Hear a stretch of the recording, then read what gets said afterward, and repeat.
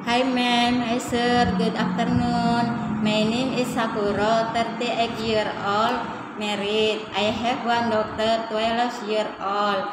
I have experience in Indonesia two years, from 2019 until 2021.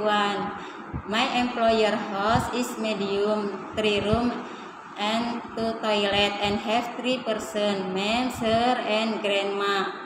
My job take care ama 60 year old and do general housework, washing, mopping, ironing, cleaning, and cooking. I can cook Indonesia food, sayur asam, gado-gado, nasi goreng, and soto. I want to work in Singapore because I need money for my family and my children study. Thank you, ma'am, sir. See you. Bye.